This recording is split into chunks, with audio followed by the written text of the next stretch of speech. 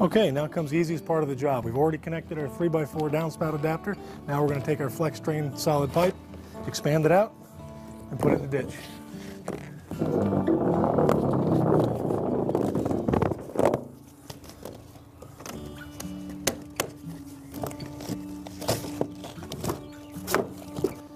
Okay, now we're going to install our flexible TY.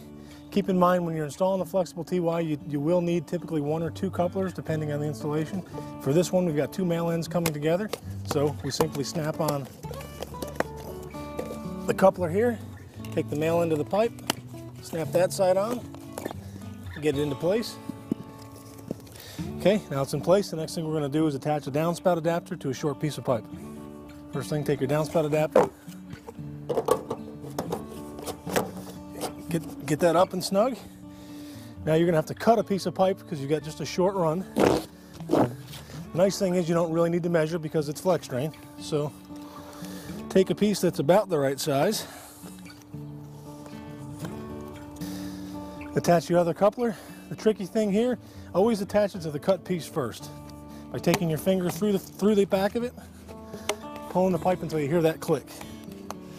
Then you can take snap on to your flexible T, snap the other end on to your downspout adapter, expand it to fit.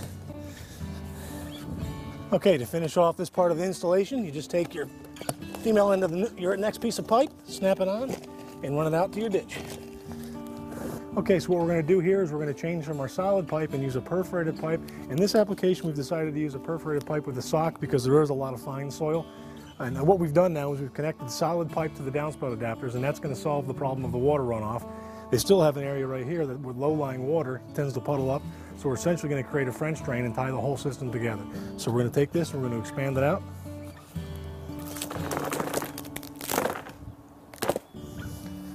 Okay, go ahead, get this in the ditch like so. Cut, cut a hair, sock here because what we're going to do is now we're going to take another one of those flexible TYs and we're going to connect in our two downspout lines that we've already got pre-connected. First thing you want to do is connect your couplers to your cut pipe.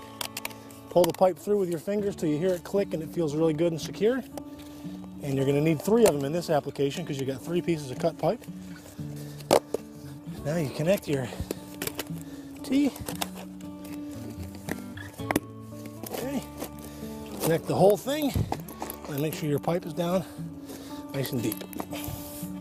Okay, what we're going to do here, we're going to bury this whole pipe underground. So the easiest way to block the end is just to simply take your extra sock, tie it off in a knot, and bury it down underground. Okay, just like on the other side of the house, we have the same problem with the downspout adapter. What we've done, we've already dug our trench, put our pipe in place, connected our downspout adapter to our flex drain pipe, Ran the pipe through and around the pole. Simply connected it to a grate drain right off to the end of the driveway, stop the erosion. Simple and easy.